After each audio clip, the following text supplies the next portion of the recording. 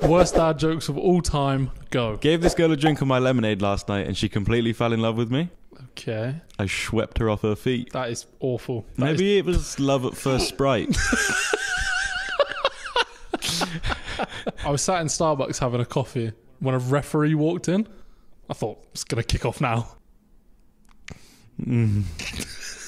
After kissing my girl on the sofa, she said, Let's take this upstairs.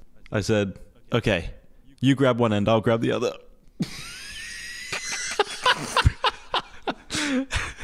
I heard Steven Spielberg is making a film about a fat alien. Mm-hmm. EC, extra cholesterol.